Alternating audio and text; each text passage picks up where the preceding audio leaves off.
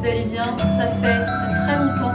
Alors je suis euh, revenue de euh, Corée euh, du Sud pour à celles et ceux qui ne me suivent pas sur mon Insta que je vous invite à suivre, que je vous laisse juste ici où je vous refais régulièrement des stories. et du coup j'étais trois mois en Corée du Sud donc j'ai filmé aucune vidéo. J'en ai à poster qu'une seule je crois de là-bas que j'avais filmé avant.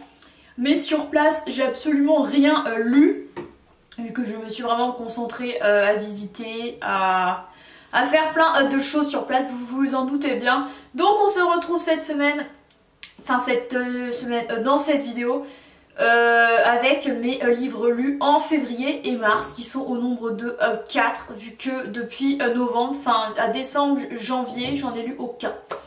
Donc, ce qui est très très très rare. Donc cette expérience en Corée, on peut voir que c'était vraiment unique.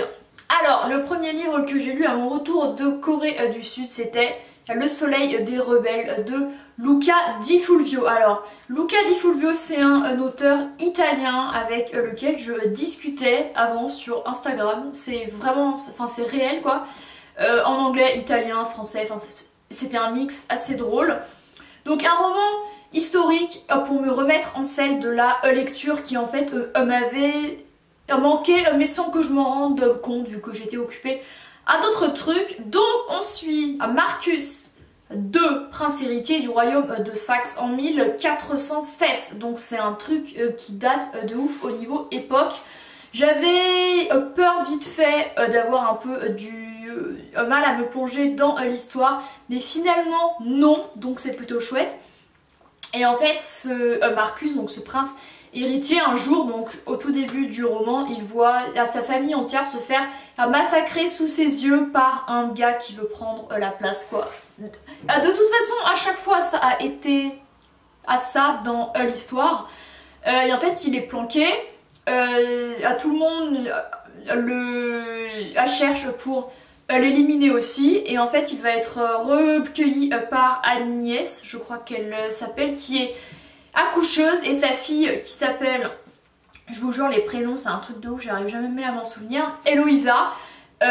donc en fait il va arriver dans une espèce de cabane qui n'a rien à voir avec le un château de ouf dans lequel il vivait, il ne va plus manger à sa faim, il va dormir à même le à sol, sans couverture, avec des euh, cafards et des rats, enfin grosse ambiance quoi. Euh, mais bah, il va s'y faire, il y a petit un petit, alors qu'il a que 10 ans, j'ai oublié de préciser. donc le choc est super rude. Et en fait Agnès veut qu'il se fasse oublier et qu'il change d'identité ensuite pour bah, éviter d'être tué. Donc il va se rapprocher de Eloïsa qui a son âge. Euh, Agnès c'est une, femme assez euh, rude, assez autoritaire, euh, dure, mais en fait elle, elle aime bien ce garçon. Donc il va vivre là durant plusieurs mois et un jour elle va faire croire qu'elle l'a adopté, enfin qu'elle l'a acheté pour aider aux travaux euh, des champs vu qu'il va ensuite aider euh, les autres euh, paysans du village où ils vivent.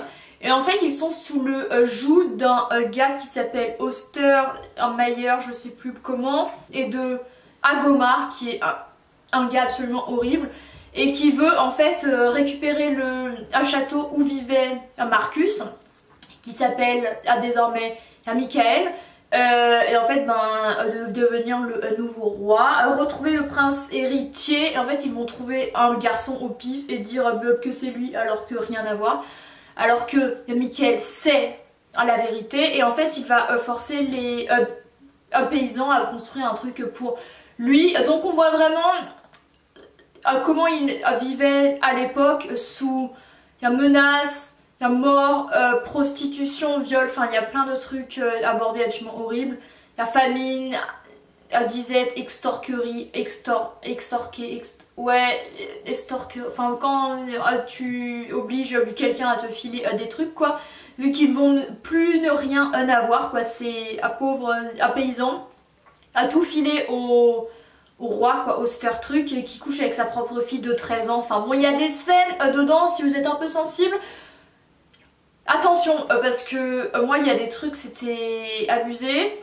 Et en fait, Michael va grandir, il va aller dans une espèce de forêt avec un vieil homme qui va l'endurcir. Il ne, sait rien de ce vieil homme. il va ensuite apprendre plusieurs années ensuite qui il est et tout ça. Et en fait, il va euh, devenir euh, plus fort euh, et avoir ce désir de la vengeance envers les gens qui ont éliminé à sa famille entière, normal. Et la première des choses qu'il fait, limite, c'est sauver une jeune fille qui s'appelle... J'ai encore oublié qui en fait va être mise au service de la fin du château pour être à la pute quoi disons-le euh, et en fait, il va l'emmener loin avec euh, plusieurs hommes à lui euh, pour bah, éviter cette vie de misère. donc voilà, sauf qu'il ne va plus être avec Eloïsa, donc il a désormais à 16 ans. Ils sont en couple, ils ont fait des choses entre eux. Elle, elle va être enceinte. lui, il ne va pas être au courant et il va vouloir la tuer à tout prix. Agomar et truc là pour euh, récupérer sa place et surtout ben, pour se venger voilà. Euh, mais ce euh, Michael slash Marcus il a vraiment un rôle très chouette. Il a un bon cœur c'est un bon enfant. Voilà donc forcément comme je vous le disais certaines situations sont très difficiles psychologiquement mais je crois que ça dépeint bien l'univers de l'époque. Donc voilà je vous le conseille vivement et j'ai hâte de lire le roman, le prochain roman de l'auteur que j'ai acheté et que je lirai sûrement bientôt. Voilà. Ensuite, rien à voir, j'avais envie de passer à un genre plus euh, léger avec un nouveau roman japonais vu que c'est euh, le genre de roman euh, que j'aime énormément. Vous avez vu il y a quelques années je crois, je vous avais fait une vidéo sur mes romans japonais préférés ou un truc du style que je vous laisse ici. Il faudra que je la mette à jour euh, quand j'en aurai lu plus. Et la, la papeterie Tsubaki de Ogawa Ito, j'en entendais parler depuis ultra longtemps. Il est en poche, donc j'en ai profité et ça m'a fait ultra du euh, bien euh, de me replonger dans une ambiance de calme, apaisante, douce, qui sont souvent le cas des romans japonais je trouve et ça fait trop du bien quoi. Donc on suit Atoko qui a 25 ans, qui a en fait euh, voyagé euh, durant plusieurs années auparavant, qui euh, reprend la, librairie de sa grand-mère qui est décédée et qui l'a élevée. Cette femme, elle est restée très mystérieuse, assez lointaine de Atoko. Et du coup, elle a un peu du euh, mal à être triste, quoi, en gros. Euh, donc du coup, elle reprend cette euh, librairie et elle va reprendre également son rôle d'écrivain à public. Un écrivain à public, c'est quelqu'un qui écrit pour, vous, des lettres, une lettre de remerciement, d'amitié, de rupture, de plein de choses différentes. Et en fait, j'ai vraiment appris ce métier à l'intérieur. Et tout le procédé d'écriture, de choix du euh, papier, de l'encre, des phrases, euh, du timbre, tout y est euh, expliqué. Et c'est vraiment hyper hyper intéressant, ça nous plonge dans une ambiance un peu d'observation calme, sereine et tout, c'est ultra réconfortant quoi comme sentiment. Donc à sa vie passe, elle est un peu euh, routinière, elle, euh, elle s'occupe de ça, elle a régulièrement des euh, lettres à écrire et il va y avoir quelques un personnage intéressant comme ses voisines. Il y a Madame, il y a Barbara, il y a aussi la Panty qui est une amie à elle et le baron qui va en fait faire appel à ses à service pour une lettre, ils vont faire des activités ensemble elle va aller à boire un verre avec le baron. Elle est très, elle est très amie avec madame la Barbara qui est une vieille femme ultra apprêtée avec des hommes et tout. Et elle est un peu envieuse mais sans être envieuse. franchement, vous d'écrire ce roman c'est super dur vu qu'il ne se passe il n'y a pas un événement précis, c'est vraiment juste on suit sa routine avec euh, deux trois événements qui la, sortent de sa routine et sont assez euh, spéciaux. Mais c'est vraiment une, lecture qui fait euh, du bien, qui est apaisante et on retrouve vraiment l'ambiance du Japon qui me manque énormément et j'espère y retourner bientôt quand je retournerai en Corée du Sud vu que c'est à côté, voilà, mais il faut juste qu'il rouvre aux touristes, ce serait cool. Donc voilà, un beau roman que je vous conseille vivement. Ensuite, changement de style avec du thriller, la détective. Il y a la carrière du euh, mal de Robert Galbraith aka J.K. Rowling. Euh, ça c'est le troisième roman qu'elle a écrit sous ce euh, nom d'emprunt. C'est le troisième que je lis. Je l'ai acheté d'occasion chez Gibert Joseph à Lyon. Il est dans un état super, donc c'était vraiment très très chouette. Donc on suit euh, la troisième enquête de euh, Cormoran Strike, qui est un détective privé londonien, qui est ancien militaire, enfin dans euh, l'armée, qui a, perdu une, jambe, qui a une assistante qui s'appelle euh, Robin et ce qu'il y a euh, d'intéressant euh, dans ce roman et dans cette saga de façon générale c'est qu'on suit leur vie. Il y a perso à côté de leur vie pro et enquête sur lesquelles ils vont être signer quoi. Euh, donc c'est assez intéressant et en fait au, tout début du roman on suit Robin qui reçoit une jambe humaine un jour euh, dans un colis alors qu'elle devait recevoir des, appareils photo pour son mariage donc rien à voir. Euh, donc en fait ils vont essayer de chercher l'identité de la victime et, et du destinataire voilà ce serait cool. Donc ils vont arriver euh, dans une enquête absolument un peu euh, chaotique, difficile, euh, dégueulasse, où il va y avoir trois hommes qui vont revenir, dont Whitaker qui était en fait l'ancien beau-père de Cormoran Strike, qui est complètement shooté à la drogue, qui ne ressemble plus à rien, qui est un zombie humain. Et en fait, à, l'époque, il avait à seulement 4 ans de plus que lui, il était euh, donc en couple avec euh, la mère de Hob Cormoran, qui était très étrange. il, était violent envers les enfants et tout ça, et en fait, il le serait il a potentiellement impliqué dans cette affaire. donc, Cormoran va essayer de le faire il a tombé et également bah, un peu pour se venger de ce qu'il a, a, vécu à cause de lui à des années auparavant voilà aussi ils vont être sur deux enquêtes en fait de deux personnes qu'ils doivent suivre en tant que euh, détective privé quoi. D'un père euh, obsédé par ses enfants qui les suit alors euh, qu'il n'a plus la garde et une jeune femme russe soupçonnée par son petit ami de la de le tromper alors qu'en fait elle est juste danseuse euh, un peu euh, plus plus quoi. Bref, voilà, c'est assez intéressant euh, le fait que leur vie à perso se mêle à l'histoire, c'était vraiment, bah, ça rajoute un, aspect de sympathie et de proximité au à personnage.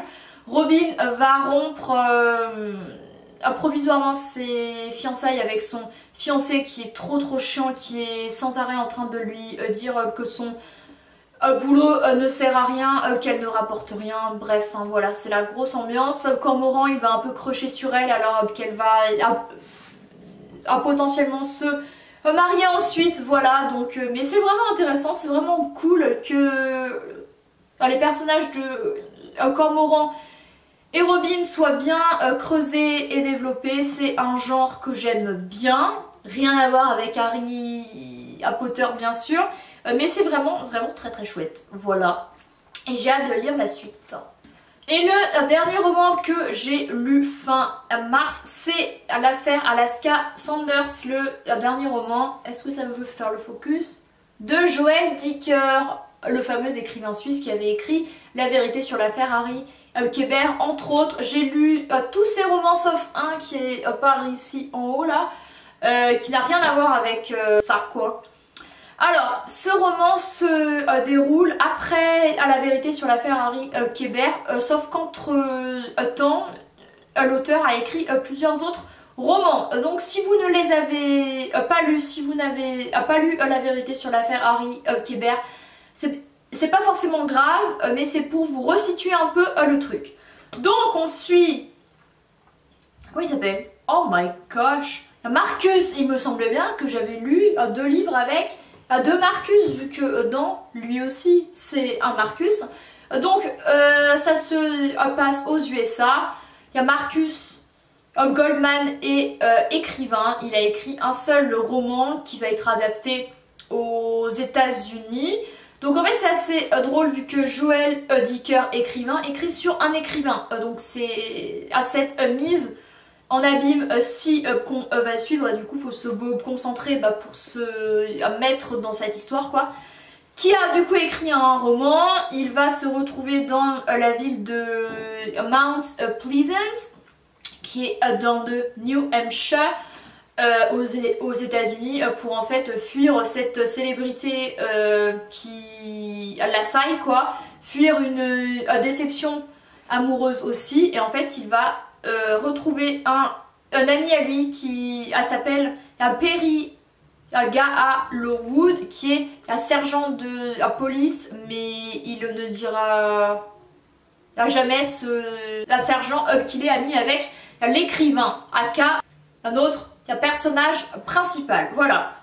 Et en fait Marcus va tomber sur une affaire euh, qui s'appelle Alaska Sanders qui s'était à passer en 1999. Ce roman se passe en, 2010, donc 11 ans auparavant, en fait, d'une jeune fille de 22 ans qui a été assassinée, en fait, euh, sur la plage. Et en fait, ça a été résolu en envoyant un jeune en prison euh, durant 11 ans, mais qui clame son innocence, qui était en fait un meilleur ami avec un euh, qui s'appelait Walter qui était le compagnon de Alaska et qui en fait s'est euh, suicidé euh, suite à des suite à un, interrogatoire où il a avoué le meurtre. Sauf qu'il y a, toujours eu un, doute. Et donc en fait ils vont rouvrir l'enquête euh, tout simplement voilà. Et en fait se rendre compte ben, que Eric qui est en prison et ben, il est sûrement innocent. Sauf qu'il y a des éléments qui l'incriminent encore 11 ans ensuite et euh, des, éléments euh, frais euh, qui montrent qu'il n'a rien pu faire. Donc ils vont aller interroger les parents de Eric, de Walter qui s'est suicidé et de Alaska qui a été du coup assassiné et ils vont découvrir plein de nouvelles choses concernant la, jeune fille originaire de la Salem et qui et à qui en fait il serait arrivé quelque chose qui explique qu'elle est fuie en fait et qu'elle se soit retrouvée euh, dans ce petit village. Alors euh, qu'elle rêvait de notoriété, de fame et tout à New York vu qu'en fait elle avait remporté des concours de beauté. En fait son choix a été un peu incompréhensible. Mais en fait on va découvrir plein d'éléments qui vont expliquer ben, qu'elle ait choisi de rester ici et qu'elle ait été un peu prisonnière de plein euh, de choses. Donc voilà, c'est une enquête ben, qui tient en haleine, on veut en savoir euh, plus. On va suivre plein de personnages, donc il faut vraiment se euh, concentrer en plus. Encore une fois, c'est entre il y a passé et présent, donc on voit comment l'enquête a été traitée, quelles ont été les erreurs qui ont été faites. voilà, voilà, comment vous dire, c'est tout. Euh, difficile à résumer, difficile euh, d'en dire euh, trop, sinon je vous spoil. C'est dommage, une enquête que j'ai vraiment adorée. Je n'ai pas vu le fin mot de l'histoire arriver. J'étais très surprise. Donc très bonne surprise vu que je n'ai pas été... enfin que j'ai été surprise quoi. J'ai pas d'autres mots, c'est trop bien. donc voilà, j'espère que vous le lirez. Il, va faire des dédicaces bientôt dans plusieurs villes et je vais essayer d'aller le voir parce que ce serait vraiment très très chouette. À chaque fois j'adore ces romans et le fait en fait qu'ils reprennent les éléments du à passer et qu'on retrouve euh, complètement euh, l'histoire avant que Alaska euh, décède, et ben ça nous permet d'en apprendre plus sur elle et c'est super intéressant quoi. Donc voilà, j'espère que cette vidéo de mes livres lus en février et mars vous aura plu. Promis, il y aura une autre vidéo sur mes livres lus en avril, forcément vu que j'ai bien repris la lecture. Ensuite, il faudra que je trouve d'autres idées de vidéos, mais vu que j'ai plus lu grand chose, ben, un peu difficile à trouver euh, comme idée, donc à voir euh, comment va évoluer cette chaîne. Merci d'avoir regardé cette vidéo, euh, n'hésitez surtout pas à lui mettre un pouce en l'air et à vous abonner. Et moi je vous retrouve très bientôt dans une prochaine. Bye